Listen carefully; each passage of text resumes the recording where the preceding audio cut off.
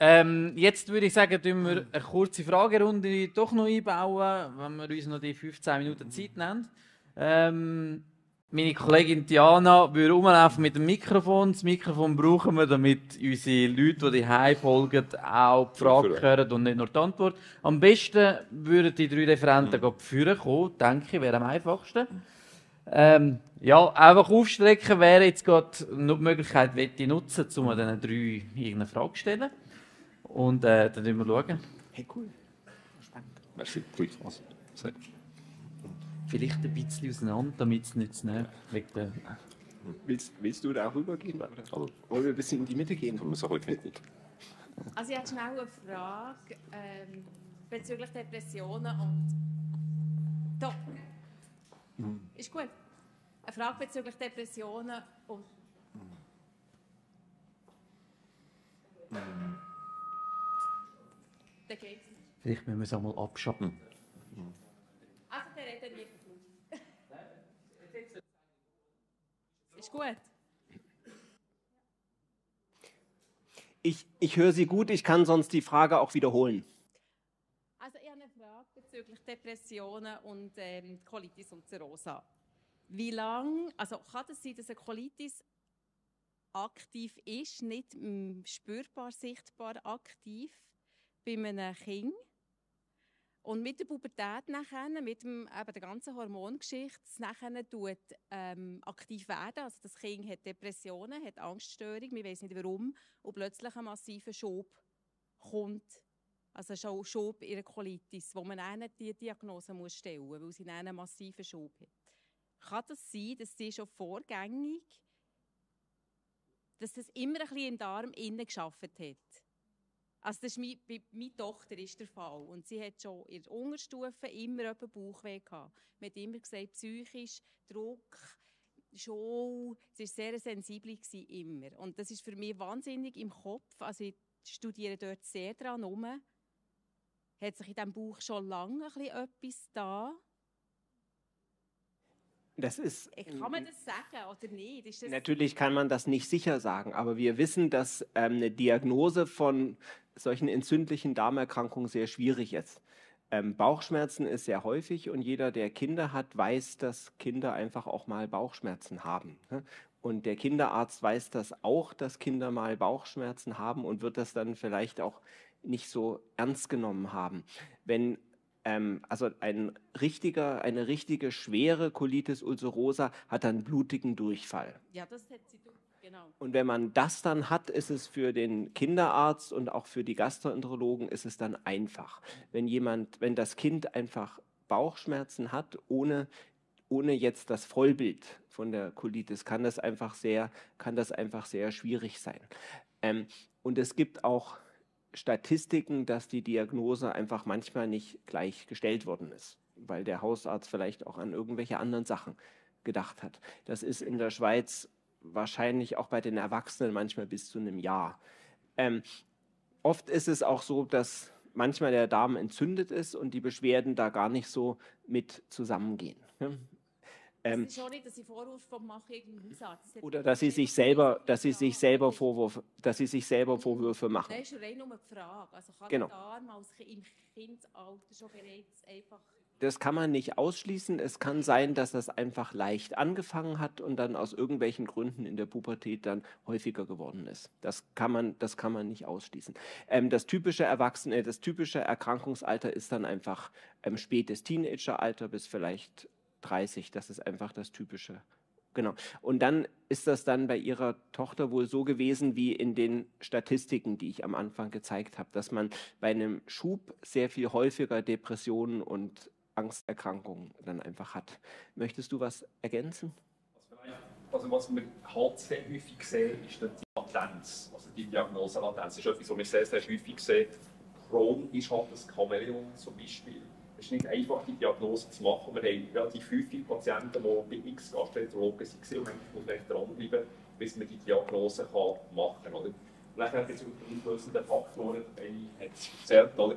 manchmal ist und das ist etwas, was wir in Sprechstunden sehr, sehr häufig sehen, dass wenn Patienten reinkommen und sagen zum Beispiel, ähm, ja, es ist jetzt jemand äh, eng Angehörige gestorben, zum Beispiel ein Major Life Event gehabt, dass mehr oder weniger das nach der ausbricht. Also das ist etwas, was wir ständig erleben. Oder wo Patienten reinkommen, die sagen, ich bin überzeugt, in einer Woche habe ich einen massiven Schwung, weil ich habe zum Beispiel eine Prüfung gemacht, massiv Stress gehabt, es ist nicht gut gegangen, oder? Und ähm, das bewahrheitet sich nachher in den meisten Fällen. Oder? Also dem her, die Latenzzeit, ich glaube, ist ein ganz wichtiger Punkt. Mhm. Oder? Es braucht eine Awareness, das ist das, was wir am Anfang gehört haben. Ich denke, die Awareness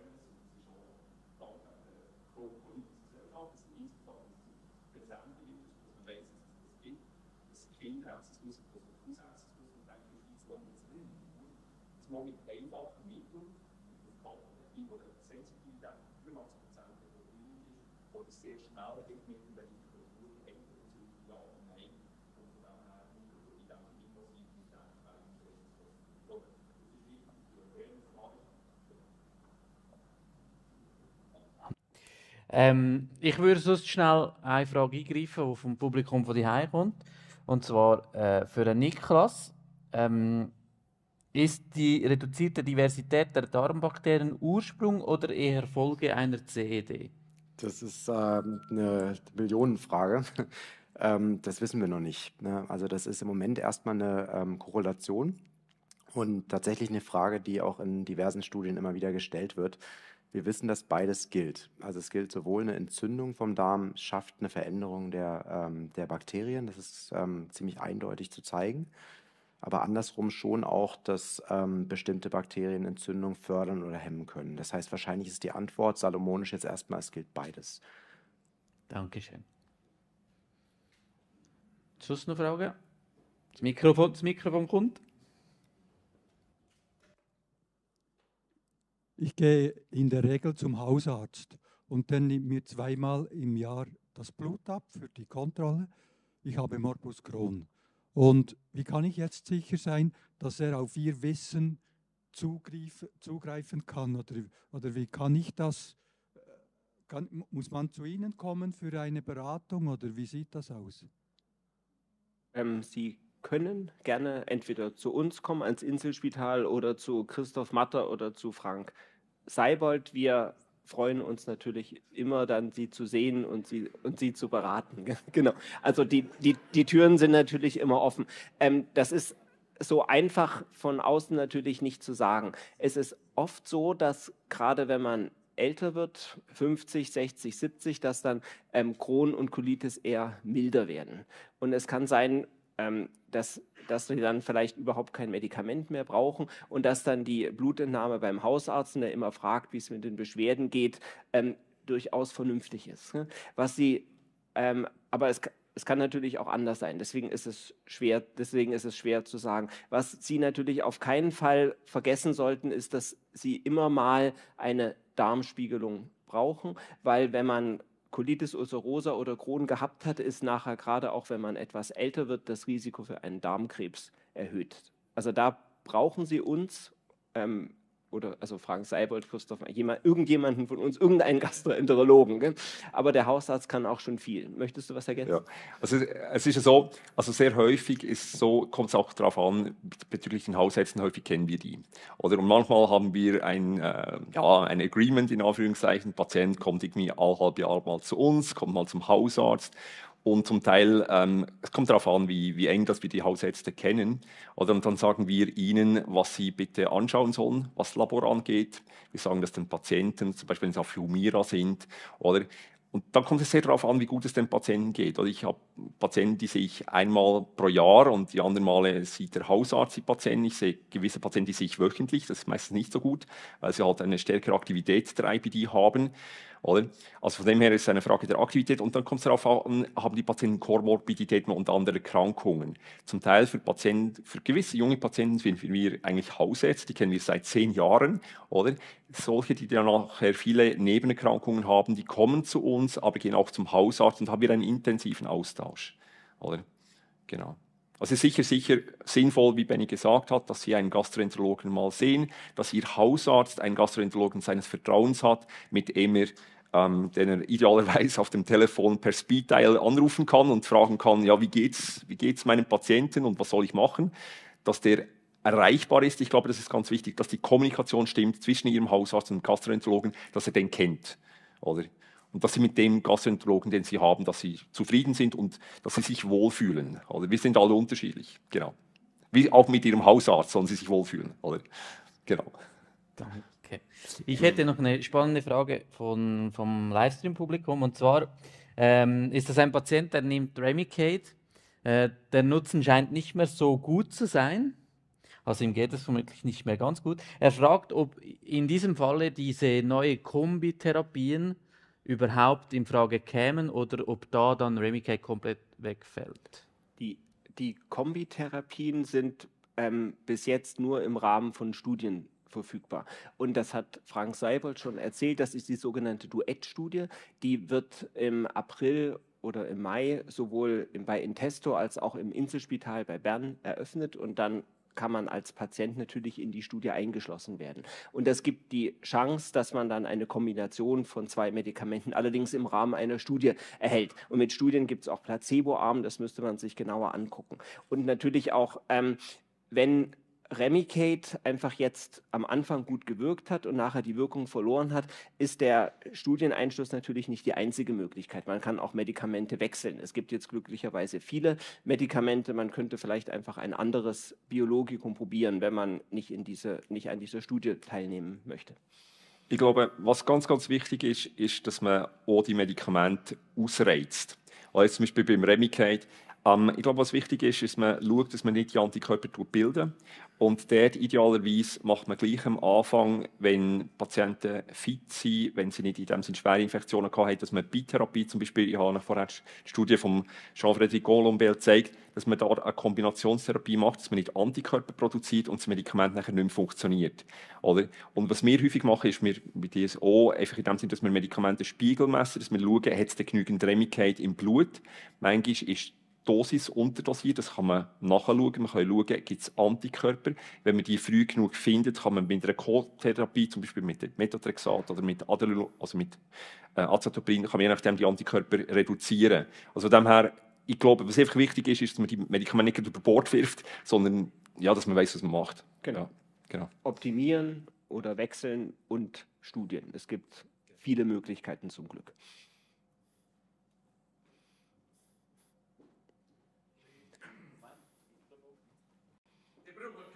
Mal, mal, wir brauchen eins. Für, für das Publikum zu Hause.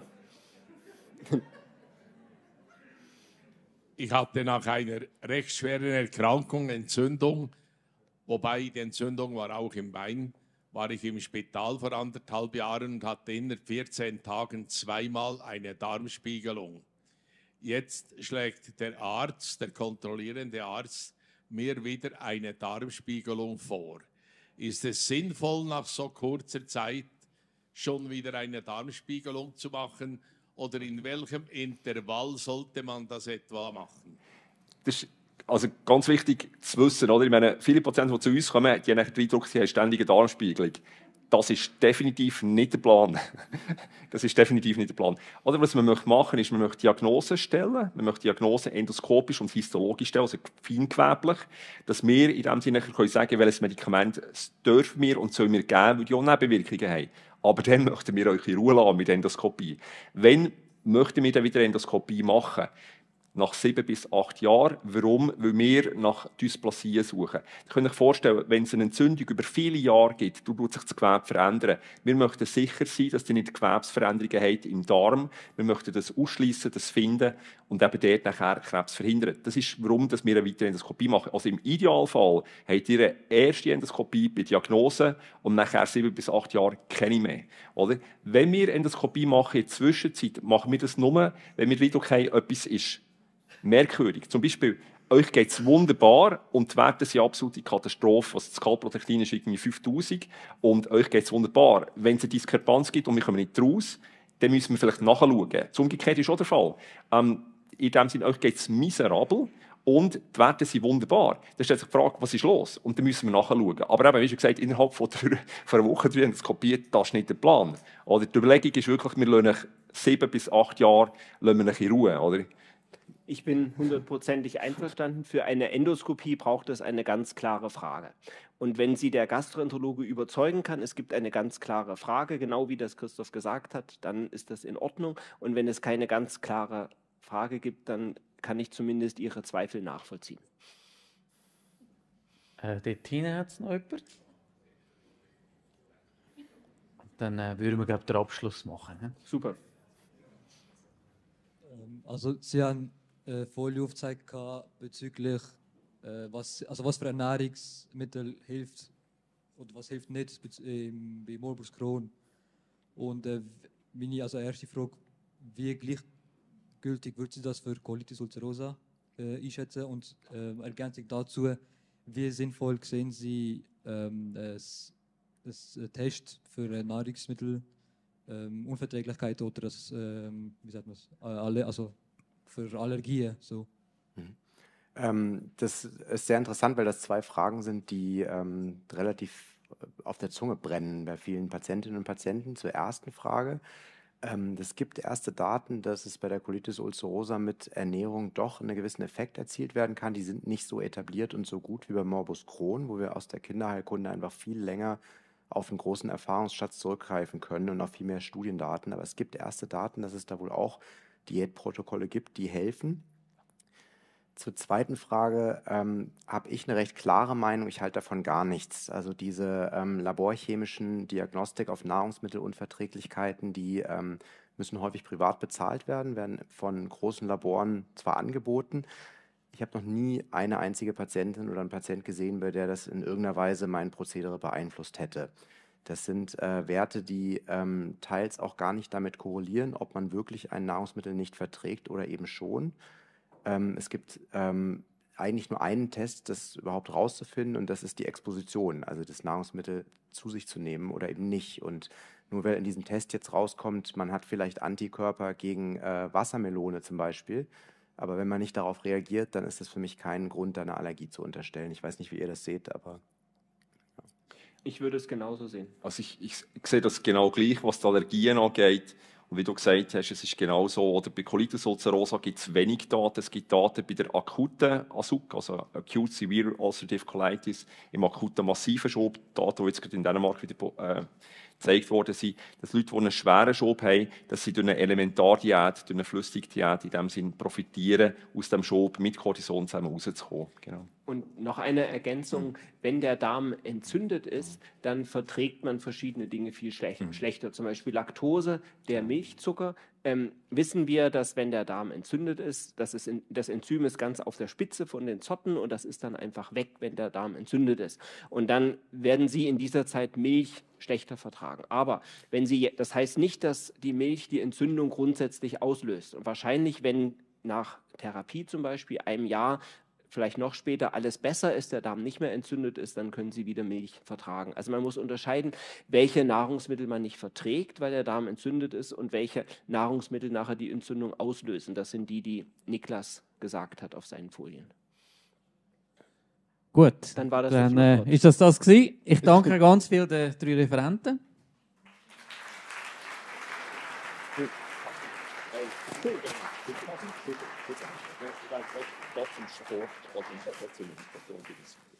Ja, jetzt äh, noch ein kleines Schlusswort. Ich möchte allen danken, die da sind. Ähm, es war wirklich eine Freude für uns, dass der Saal wieder so voll ist.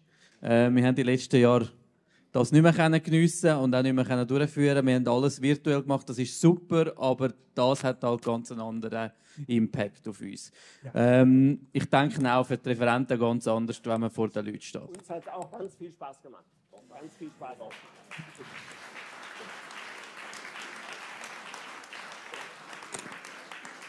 Ähm, zum Abschluss noch vielleicht zwei Infos. Ähm, da hinten hat es auf dem Tisch ganz viel Infomaterial. Ähm, die, die es nicht kennen, dürfen euch bedienen. Es ist alles kostenlos, können es gerne mitnehmen. Äh, das ist so ein das, was unsere Vereinigung rausgibt an Informationen äh, für die Betroffenen, für die Angehörigen. Ähm, da kann man wirklich ganz viele Infos rausziehen. Jetzt haben wir noch einen kleinen Abbau organisiert. Wir müssen allerdings zwei Stück auf ins erste OG, der Raum Bove heißt der. Also man kann mit den Stegen einfach wirklich auf oder mit dem Lift Ähm, und da sind ihr alle herzlich eingeladen und danach wünsche ich eine gute Heimfahrt und ein schönes Wochenende. Danke.